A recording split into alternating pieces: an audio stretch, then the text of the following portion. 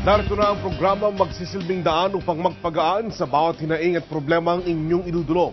Turutukan ang bawat makabuluhang pag-aksyon ng mga kinaukulan. Ang serbisyo publiko na kahit sa anong paraan at sa abot ng aming kakayahan ay aming susolusyonan. Ang programa nagdurugtong sa bawat yugto ng buhay. Ngayon ay Miyerkules, September 5, 2012. Tugon, aksyon. Ngayon, ito ang Responde. Magandang hapon, ako si Orin Miranda.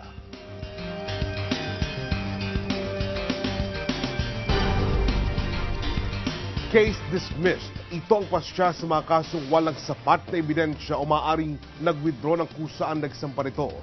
Wala nang anumang pananagutan ng nakusahan, ngunit hindi na ito mababago ang negatibong pagtingin sa isang napawalang sala. Ganito ang idinulog sa amin ng isang misis mula sa Deparo, Caloocan na may anak na inisyuhan ng criminal certificate. Ayon sa datong, dating kaso nito, Patunay na mag-ina, matagal nang dinismiss ang kasong pinagbatayan ng barangay. Nagdulot ito ng matinding pangamba sa mag-ina, bunga ng tangkang pagpatay sa kanyang anak. Narito ang kanilang kwento.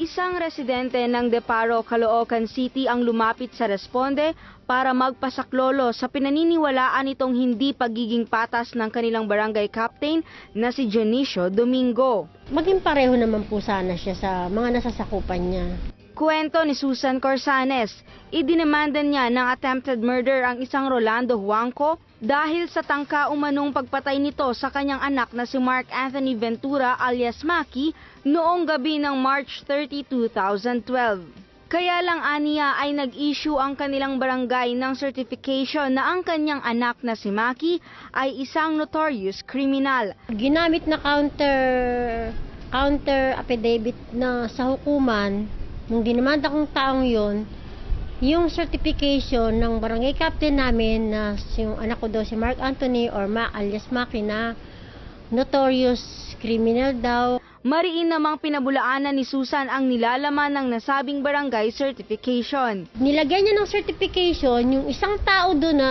agluba ay wala siyang kaalam-alam na ginamit yun para sa korte.